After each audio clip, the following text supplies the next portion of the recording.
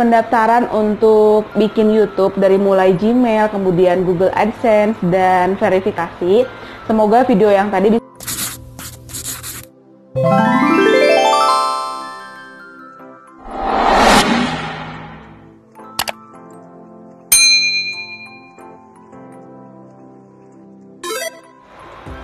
Assalamualaikum warahmatullahi wabarakatuh Hai semuanya, kembali lagi di channel youtube aku, Idapar Buat teman-teman yang udah subscribe channel aku, makasih banyak. Yang udah nontonin video-video aku juga makasih banyak.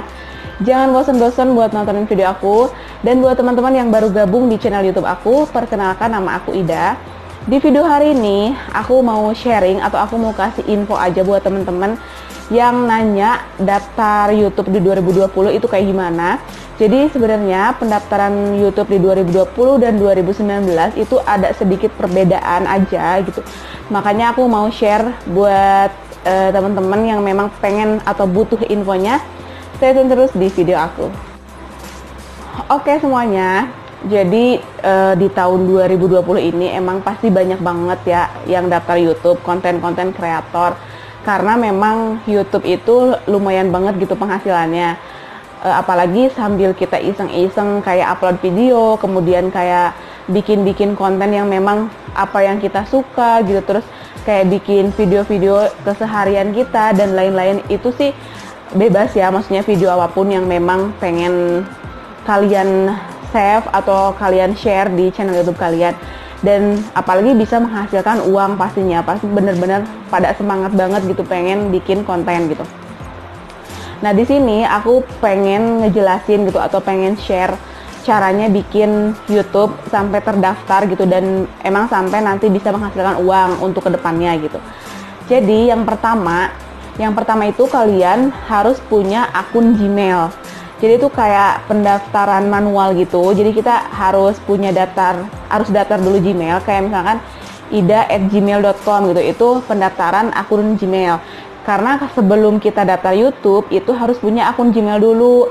Jadi fungsinya tuh kalau misalkan ada info-info terkait YouTube nanti nyambungnya ke Gmail kita gitu. Itu fungsinya akun Gmail. Pokoknya tuh antara Gmail dan akun YouTube itu e, pasti saling berhubungan. Jadi kalau misalkan ada info apa pun dari YouTube nanti nyambungnya ke Gmail gitu. Jadi ke data pesan yang ada di Gmail kita gitu. Terus setelah kita punya akun Gmail dan passwordnya kita jelas harus ingat ya soalnya kan memang itu kalau misalkan kita ada info-info penting kan kalau lupa password berabe juga walaupun ada juga sih misalnya lupa password tinggal ganti password cuman kan lebih safety atau lebih aman kita catat passwordnya supaya nggak lupa gitu terus yang step kedua tadi itu yang step satu kita daftar Gmail step kedua itu kita baru bikin akun YouTube Nah, jadi kalau misalkan akun YouTube itu nanti misalnya kita masuk ke YouTube, kan ada login. Nah, di sana ada kayak daftar akun YouTube. Kalau misalnya aku aku akun YouTube-nya kan Idapar gitu. Kalau misalkan Gmail-nya kan beda lagi gitu. Jadi terserah akun YouTube itu mau kalian namain apa gitu. Nah, kalau misalkan kita udah berhasil untuk buat akun YouTube, berarti kan kita udah punya nih akun YouTube untuk share video. Baru kita bisa kayak nge-share video kemudian bikin pengaturan-pengaturan lain gitu loh. Jadi tuh akun YouTube kita akan kita setting sedemikian rupa supaya uh, istilahnya bisa ditonton oleh viewers banyak kemudian kayak di setting-setting biar menarik gitu gitulah pokoknya itu sih terserah dari kalian kalau misalkan udah punya akun YouTube. Nah terus setelah punya akun YouTube itu uh, kalau dulu aku aku itu uh, pendaftaran Google AdSense. Jadi itu kayak semacam bahwa kita itu bisa menghasilkan uang kalau misalkan kita upload video kemudian nanti akan uh, apa cairnya itu di Google AdSense gitu yang menghasilkannya itu di Google AdSense kita sendiri gitu tapi kan kalau misalkan YouTube itu kan ada syarat tersendiri sebelum kita bisa mendapatkan uang. Nah, syaratnya itu ada dua. Yang pertama, kita harus bisa mencapai 1000 subscriber. Terus yang kedua, kita harus bisa mencapai 4000 jam tayang selama satu tahun gitu. Jadi kita itu di sama si YouTube dikasih waktu 1000 subscriber selama satu tahun dan 4000 jam tayang selama satu tahun gitu selama 12 bulan gitu loh. Nah kalau misalkan untuk subscriber walaupun udah satu tahun misalkan nih uh, ada kasus misalkan kita udah mencapai 1000 sub, 1000 subscriber tetapi uh, belum 4000 jam tayang gitu tapi kita udah setahun gitu. Jadi perhitungannya nanti jam tayang kita itu hilang gitu. Jadi nanti mulai lagi dari awal kalau untuk jam tayang. Tetapi kalau misalkan untuk subscriber itu dia nggak bakalan hilang. Kalau subscriber itu dia bakalan terus naik, naik, naik. Jadi kalian tenang aja. Kalaupun misalkan selama setahun nggak bisa mencapai target 4000 jam tayang, tetapi subscriber kita tetap aman gitu.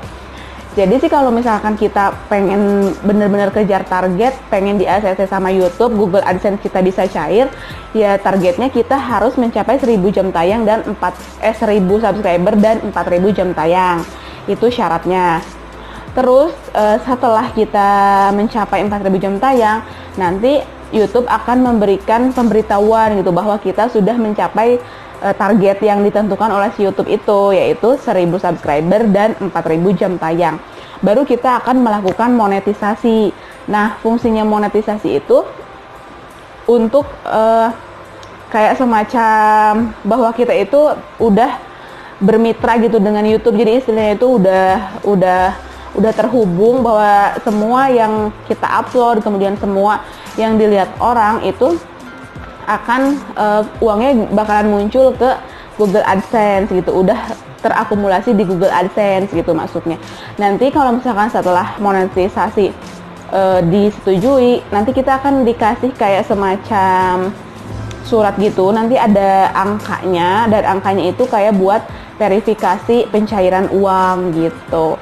Itu sih kalau misalkan uh, untuk pendaftaran yang 2019 waktu aku dulu tetapi kalau misalkan yang 2020 perbedaannya cuman di Google AdSense-nya aja. Jadi kalau misalkan yang daftar YouTube di 2020, Google AdSense-nya itu nggak bisa didaftarin sebelum 1000 subscriber dan 4000 jam tayang gitu. Jadi sebenarnya perbedaannya itu cuma sedikit, cuma di masalah Google AdSense AdSense doang. Kalau aku dulu walaupun aku belum 4000 jam tayang dan belum 1000 subscriber tapi aku udah bisa kayak daftar Google AdSense duluan gitu. Kalau misalkan yang sekarang yang 2020 itu belum bisa daftar Google AdSense dulu sebelum mencapai syarat 1000 subscriber dan 4000 jam tayang. Terus kalau misalkan kita udah beres semua, udah terverifikasi dan e, semacamnya, udah masukin kode, nah nanti kan kita kayak punya Google AdSense tersendiri kan untuk pencairan dana. Nah, pencairan dananya itu hanya bisa diambil kalau misalkan syarat kita udah terpenuhi yaitu di 1.300 gitu. Oke teman-teman, jadi tadi adalah video seputar pendaftaran untuk bikin YouTube dari mulai Gmail, kemudian Google AdSense dan verifikasi. Semoga video yang tadi bisa membantu buat teman-teman yang mau baru mau daftar dan yang udah daftar di 2019 mungkin lagi proses untuk monetisasi atau untuk menuju 1000 subscriber dan 4000 jam tayang. Oke, cukup sekian video dari aku. Semoga bisa bermanfaat buat kalian semua. Dan jangan lupa like, comment, subscribe di video channel YouTube aku. See you on my next video. Bye bye.